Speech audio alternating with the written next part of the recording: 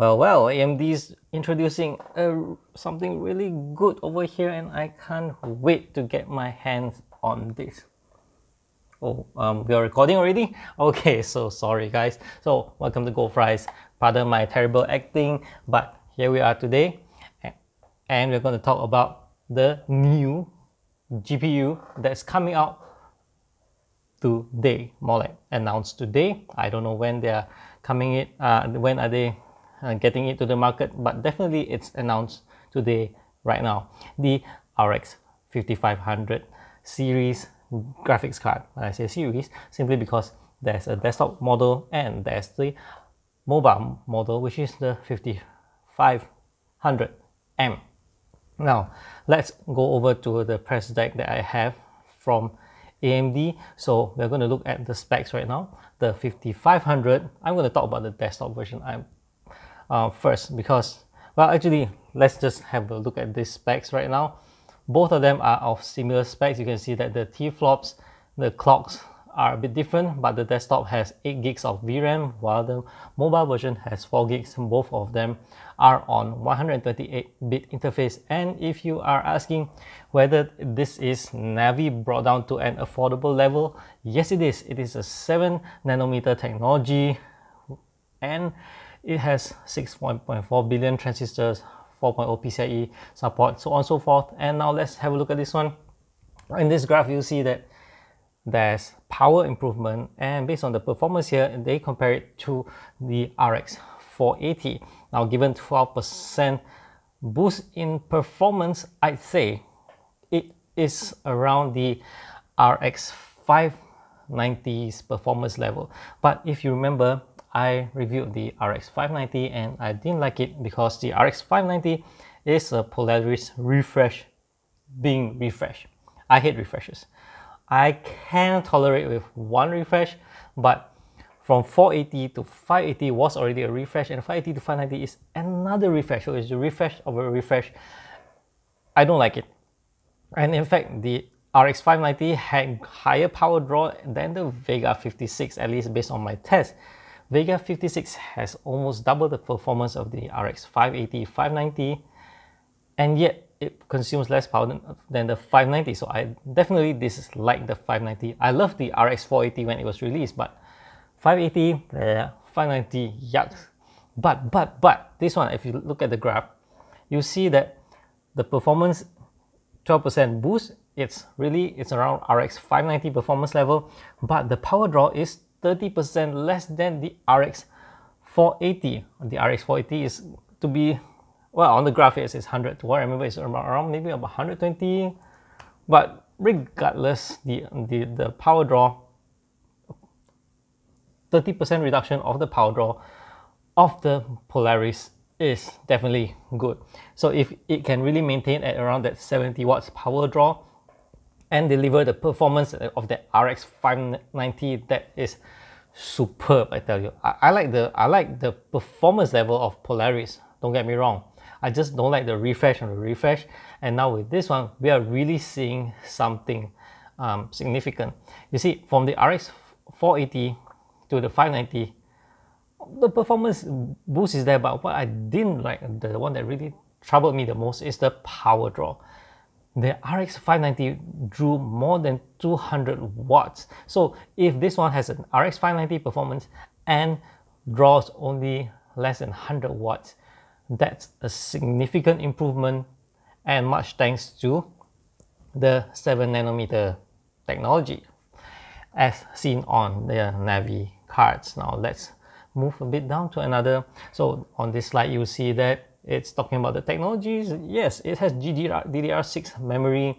And moving on, according to this one, it has 60 over 60 frames per second for AAA gaming. I think that's great. For 90 plus FPS esports gaming, I think it's good. Personally, I play at 100.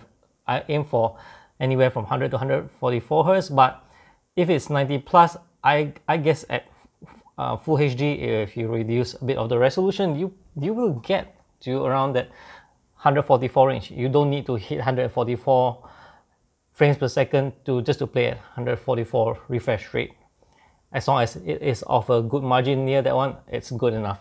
So given the titles here, you see that um, NVIDIA NVIDIA card that is being compared to this uh, AMD's RX 5500 is the 1650, which is um, quite far apart. So uh, I'm, I'm guessing that they didn't put 1660 because the performance would look a, a lot closer. Oh, by the way, this is the RX 580. So if we're going, I'm going to go back to RX 580 topic a, a bit later when we're talking about price. So now, now the performance. As you can see from this graph, it compares to the 1650, but not the 1660 or the 1660 Ti, of which I think it will be closer to that range. So 1660 Ti will be a bit on the uh, higher price point. So my guess, my guess is that it will be around the price of the 1660, which is about say 200 US over over in Malaysia, I'd say maybe around 800 to 1000 Malaysian ringgit range and will be definitely taking over the spot of the RX 580 or RX 590. If you are intending to buy any 580 or 590 right now, please don't buy any of them. It's for your own good. I'm sorry AMD that I have to tell people to not to buy your things right now simply because it is from what I see definitely a significant improvement over these guys that I don't know if you be able able to sell it off at the current price now. I don't think so. Probably half the price, given that performance levels should be similar, maybe a bit higher than the 580, should be around the 590 range, but power draw wise, significantly less. Now let's um, look at another graph. Here is like what I mentioned compared to the 1650 and then let's look at the other one which is for the the RX 5500M which is the mobile one so overall my take is that this is definitely the GPU to look out for I'm sure you've heard of rumors about Nvidia coming out with a 1660 Super I'm gonna have another video about that that's for sure do remember to subscribe to my channel if you haven't. Definitely we're going to talk about that. But for now, the 5500 series is, def is definitely amazing. And as you can see, it's 55, right? So you have a 5700, amazing stuff, then our 55. So definitely we can expect a 5600 to come quite soon. Uh, truth be told, I do not have any dates on that, but I, I'm definitely looking forward for the 5600 as well, given that um, on spec so far, the 5500 looks superb. So uh, let's um, wrap up this uh, session. You can, based on my speculation, um, based on based on my my speculation, based on what I've seen so far, well, you see the thing about AMD is that in the past I do not trust their presentation. I admit that I always take it with a pinch of salt. Every brand boasts their um, their their performance on their presentation deck, and it tends to be a little higher. So, and I, I felt that way for many of AMD's releases, um, not just Polaris. Uh, there's a Vega as well, um, but but the the Navi series I, and the Ryzen so far has been quite spot on based on their presentation. I like that. I like that they've. I feel that they've improve on their presentation. Don't, um, you might feel otherwise, we, we can agree to disagree. But like what I said, if just based on what I've seen so far, if it really is true, an RX 590 performance, but and and maintaining the current price of uh, the, the RX 580 590 range, and to have the power draw going from above 200 watts uh, during, during or during load that is. Going from above 200 watts down to below 100 watts. Now that's amazing. That's super duper huge reduction. Think about it this way.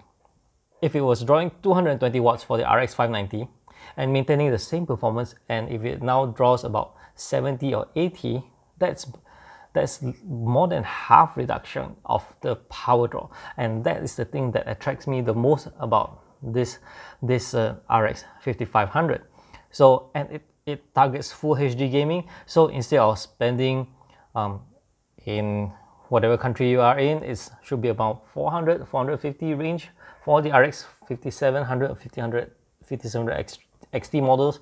Over in Malaysia, the price is a bit higher for, for us. It's about um, anywhere from about 1008 to above 2000 for the RX 5700 XT and all that. So with the 5500, um, definitely far less performance, but for full HD gaming and all that, at around the RM 800 to 1000 price point, I'd say it's superb. And if the build quality of the AIB is good, going up to 1100, I might be might be considered.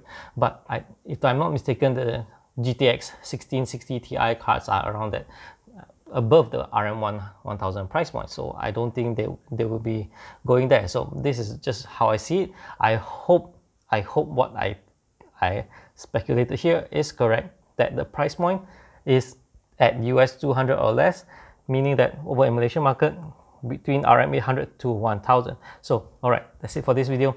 Thank you for watching. Let's hope uh, the, it's announced already. So let's see whether the card, the cards, especially from the AIB models, come to us soon enough. All right, that's it for this video. Thank you for watching, and I'll see you in the next one. Bye bye.